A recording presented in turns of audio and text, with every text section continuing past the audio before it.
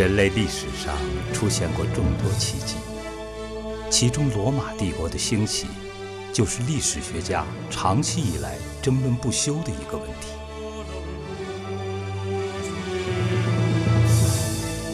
究竟是什么力量，使原来并不起眼的罗马小村，变成了一个囊括地中海、地跨欧亚非的大国？让我们一起来探讨。创造这一世界奇迹的国家——罗马。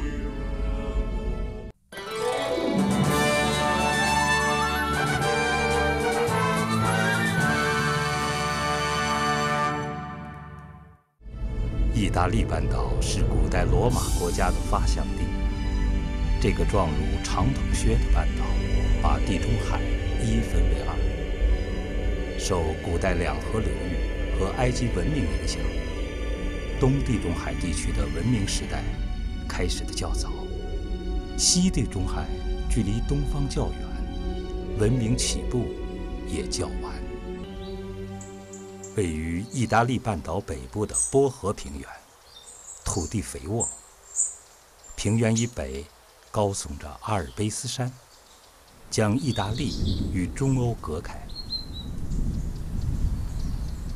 半岛东侧。山势陡峭，多悬崖峭壁，河流短而急，不利航行。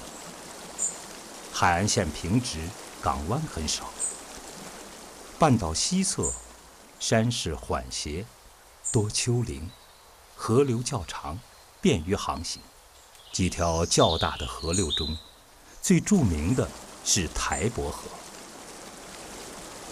河的南岸有一片平原。这就是罗马人的发源地——拉丁平原。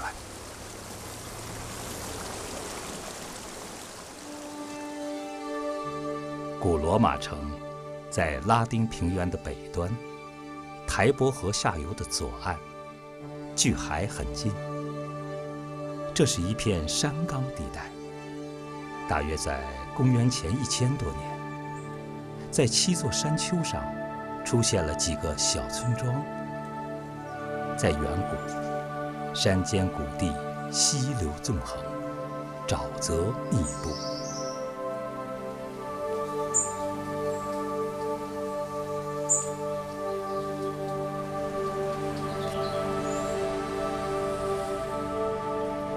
后来，山岗上的村民们把谷地的积水排干，铺设石板路。把荒芜的沼泽变成了平坦的广场。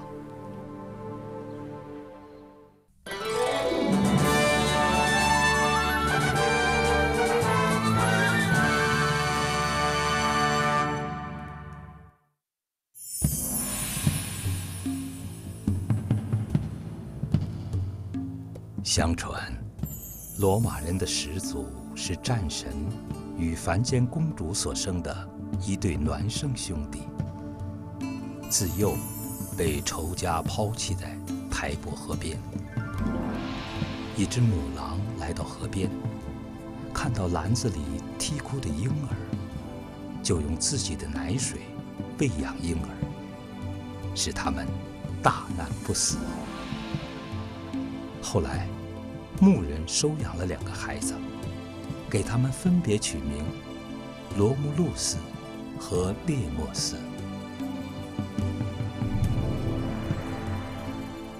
兄弟两人长大以后，杀死了仇人，建立了一座新城。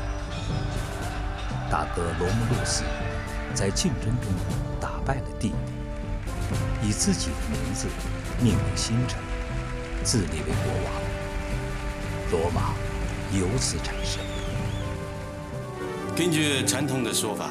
罗马城建立于公元前七百五十三年，从公元前七百五十三年到公元前五零九年，历史上把它叫做王政时期。在这个王政时期当中，罗马总共有七个国王，最后一个国王小塔克文因为独断专行、厉行苛政，罗马人民不堪其苦，终于在公元前五零九年发动暴动，推翻了国王的统治。建立了共和国，罗马历史呢从此进入了共和时期。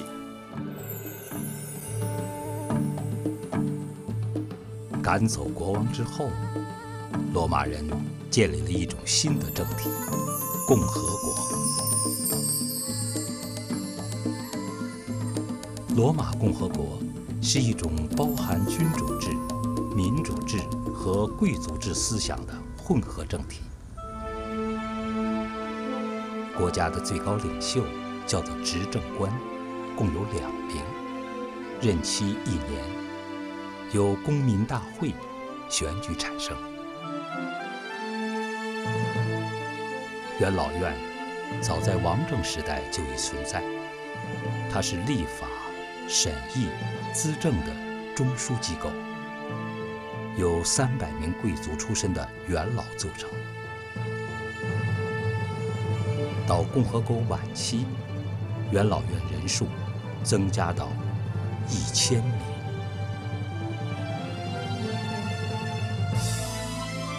在共和国早期，政府被贵族所垄断。执政官、元老均出自贵族家族，平民只有选举权，而无被选举权。贵族利用政治特权压迫平民，强占公有地，致使广大平民背上了沉重的债务。平民不愿忍受压迫。为争取平等权利，勇敢而坚持不懈地斗争着。然而，他们没有选择战争、内战和流血。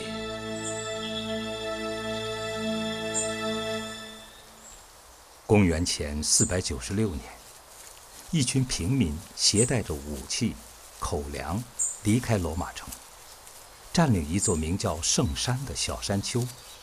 与贵族政府对峙，史称第一次撤离运动。没有平民的支持，贵族们在战争到来时便没有足够的兵源。因此，贵族同意让平民享受更多权利，允许他们组织自己的议会，选举一种新官员——保民官。保护平民，免受贵族欺压。罗马共和国时期的平民运动，从公元前494年至公元前287年，持续了两百多年。公元前450年，平民的代表和贵族一道制定、颁布了第一部成文法——十二铜表法。使平民大众可以依法保护自身权益。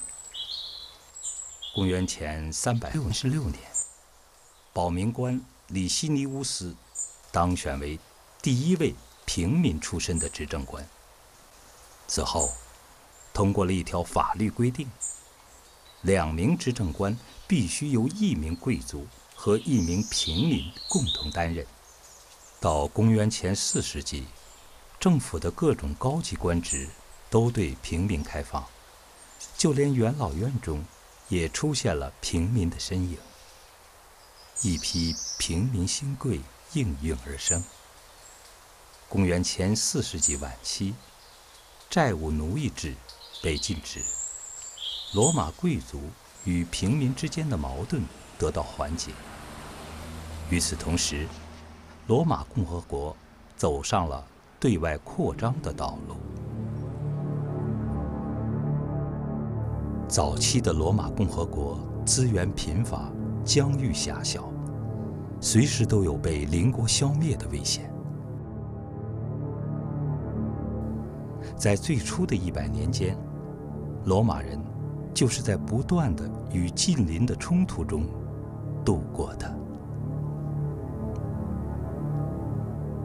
公元前五世纪后期，罗马人在地区争斗中逐渐占据优势。在征服并摧毁埃特鲁里亚人的重镇威伊城后，罗马的领土增加了一倍，罗马迈开了征服世界的第一步。公元前四百年，意大利北部山区突然出现的一群高卢部落长驱直入。到公元前三百九十年时，挺进到距离罗马城十公里的阿里亚河边，随后闯入罗马，火烧罗马城。七个月后，高卢人在罗马人被迫投降并交出一大笔赎金后撤兵。尽管高卢人摧毁了罗马城。但是罗马人的精神比城墙坚固得多。恢复元气之后，继续对外扩张。几经挫折后，罗马将意大利中部的坎佩尼亚地区收入囊中。罗马人在控制了北部和中部意大利后，开始向南部意大利发起进攻。南部意大利小国林立，多为希腊移民所建。塔林敦是斯巴达人的殖民地，与希腊本土有较多的联系。为抵抗罗马，塔林敦向希腊的伊庇鲁斯国王皮罗士求援。皮罗士是希腊化时期最杰出的军事将领之一，一直梦想成为亚历山大第二。征服整个地中海世界，塔林敦的请求正中下怀。公元前二百八十年，皮洛士率领两万两千名步兵和射手，三千名骑兵及二十头战象，在塔林敦登陆。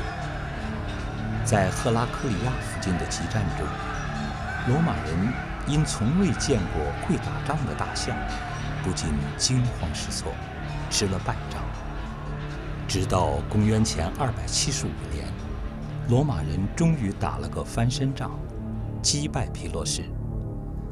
公元前272年，塔林敦被迫投降。到公元前3世纪中叶，除波河流域外，意大利的其余部分都落入罗马人手中。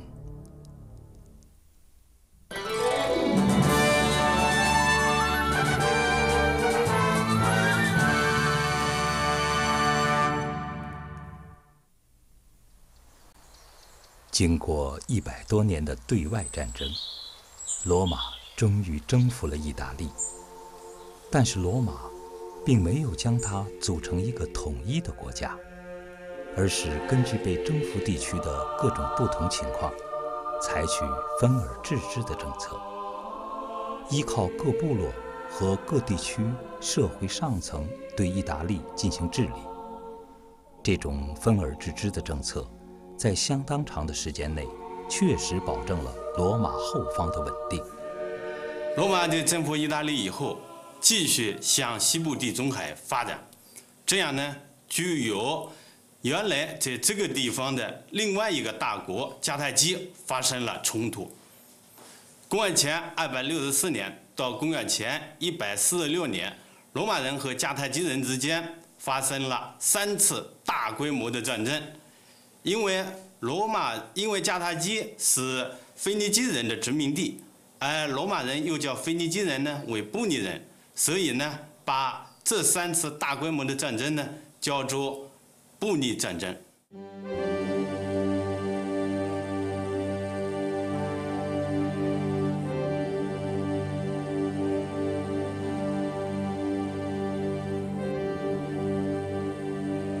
公元前二百一十六年，双方在意大利坎尼地区发生激战。罗马以八万步兵和六千骑兵的绝对优势，挑战汉尼拔的四万步兵和一万骑兵。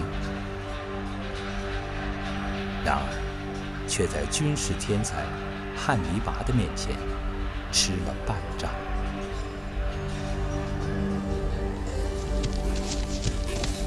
罗马五万四千人被歼，一万八千人被俘，而迦太基方面只损失了六千人。坎尼之战成为西方历史上以少胜多的极好战例，被后来的许多军事战略学习者所广泛重视。坎尼战役失利后，南部。中部和北部意大利的一些地区纷纷脱离罗马，坎培尼亚的加普亚和西西里的叙拉古等城也都投向迦太基。但是，汉尼拔毕竟劳师西远，缺乏补给。公元前204年，罗马派兵攻打北非迦太基本土，汉尼拔。不得不撤离意大利，回师北非，保卫母邦。然而，这个常胜将军遇到了真正强悍的对手。公元前202年，年轻的罗马统帅西比阿打败了汉尼拔，迦太基再次投降，沦为罗马的附属国。罗马共和国如日中天。大约同时。罗马又在东部地中海开辟了新的战场。罗马先后征服了希腊的马其顿和叙利亚塞琉古王国，把小亚细亚和色雷斯地区囊括到自己的版图里。公元前一世纪中叶，彻底征服了叙利亚和巴勒斯坦。凯撒征服了山外高卢，将罗马的疆域扩大至不列颠地区。公元前三十年，凯撒的继承人屋大维击败政敌安东尼和埃及女王克里奥帕特拉的联军，灭亡了埃及的托勒密王朝。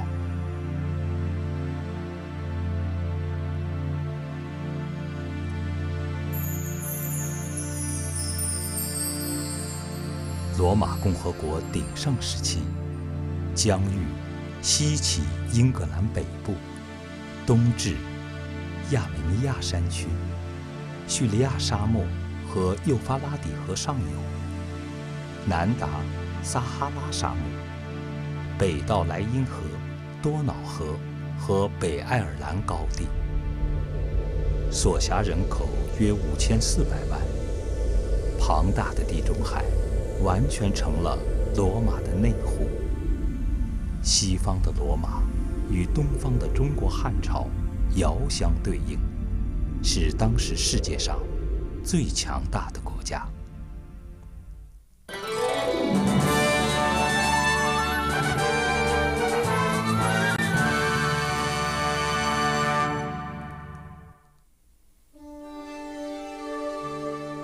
公元前三世纪以来的一系列大规模对外征服，给罗马社会带来了巨大的影响。对于罗马人来说，战争就像经营农业、手工业和商业一样，他们是一种生产的方式。罗马人呢，利用战争，利用战争的胜利，把原来分散的财富呢，都集中到他们手中，为他们服务。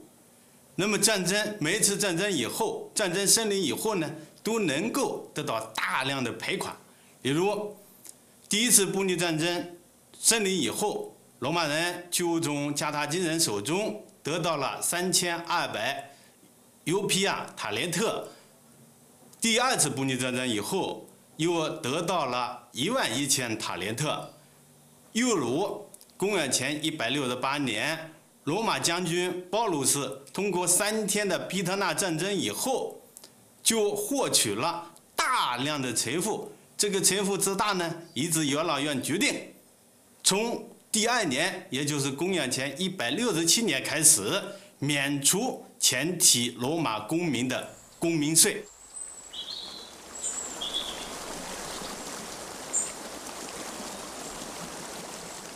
罗马对于被征服的地区，尤其是意大利以外的地区，一般采用行省这种管理形式，对其进行有组织的掠夺。行省每年都必须向罗马居罗马公民缴纳大量的税收，例如西西里行省每年大致要向罗马缴纳三百万亩地的粮食，这个三百万亩地的粮食呢，相当于十万罗马公民一年的口粮，所以啊，罗马的繁荣啊。罗马的高大的建筑，以及罗马畅通的道路，以及罗马的福利制度呢，都是建立在剥削行省居民的和奴隶的基础上建立起来的。当然，战争在给罗马带来大量财物的同时，也促进了罗马公民集体内部的变化。罗马共和国时期。实现公民并治，军队由占有土地的农民公民组成。战时，公民们披甲上阵；平时，则卸甲归田。然而，随着战争规模的不断扩大，公民们的服役时间也变得越来越长。当九死一生的士兵回到故乡时，发现，经过战争浩劫的家园，如同秋风中的落叶，田地荒芜，家人赖以糊口的小农场，已被卖出抵债，成了富人大庄园的一部分。豪华典雅的贵族乡间别墅，沐浴在亚平宁半岛灿烂的阳光下。与小自耕农破旧的茅草屋形成强烈对照。平民丧失土地以后，只有跑到罗马城和其他大城市中寻找工作。到共和末年，群集在罗马城内的流浪人群约有三十二万人，约占当时公民人数的三分之一。另一方面，战争又促进了骑士势力的迅速兴起和发展。骑士一语，起初是用来称呼军队中的骑兵，后来延伸到一切能有足够钱财供养战马去充当骑兵的人。再后来，大约到公元前二世纪时，就用这一称谓称呼财产超过四十万塞斯退斯，而又在占统治地位的豪门贵族之外的人。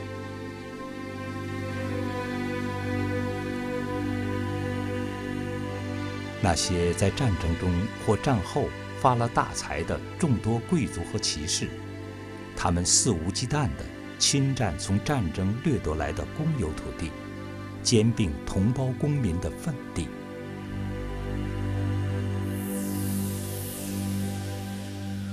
出身于显贵家族但富有同情心的保民官提比略·格拉古，在公民大会上大声呼吁。替平民诉说冤屈。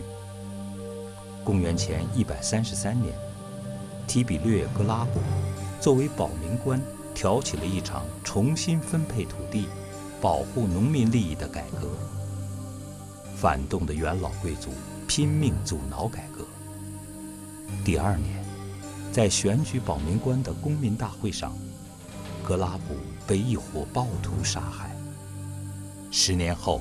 他的弟弟盖约·格拉古在人民的支持下当选保民官，继续为没有土地的农民、为意大利人获得公民权而斗争。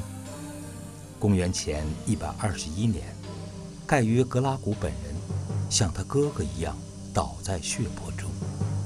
格拉古兄弟改革所引发的流血事件，拉开了百年内战的序幕。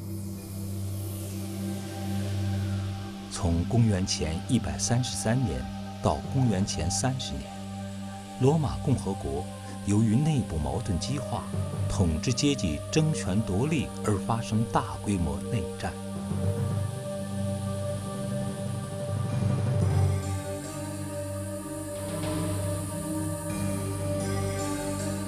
公元前七十三年意大利本土发生了举世闻名的斯巴达克斯奴隶大起义。卡普亚地区的角斗奴斯巴达克斯发动角斗训练所的奴隶们冲破牢笼，他们成功地突破罗马军队的封锁线，转战南北，严重威胁到奴隶主阶级的统治秩序。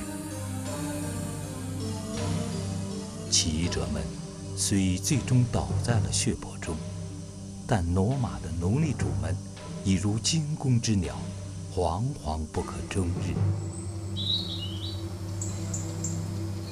罗马的同盟者，意大利人，因不满罗马的统治，要求享受平等的公民权。于公元前九十一年，爆发了同盟者起义。罗马共和国遇到了前所未有的严重危机，在海外。不甘心屈从于罗马统治的附属国家，伺机蠢蠢欲动。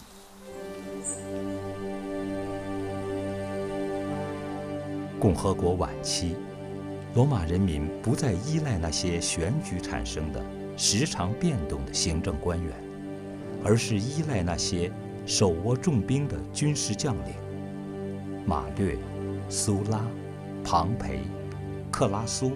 凯撒等军事强人应运而生，共和国的最高权力渐渐落入他们的囊中。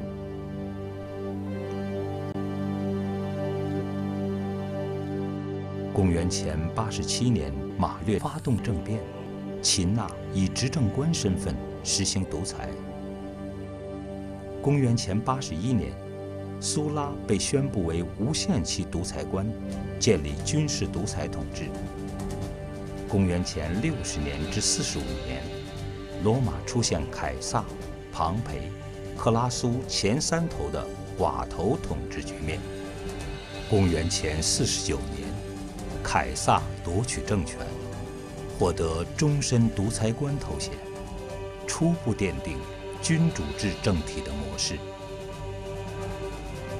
凯撒死后，政权落入安东尼、乌大维、雷必达后三头手中。最后，乌大维打败所有竞争对手，结束了内战，以元首名义，在共和制外衣的掩盖下，实行君主制统治。罗马共和国在内忧外患的重压下。黯然解体。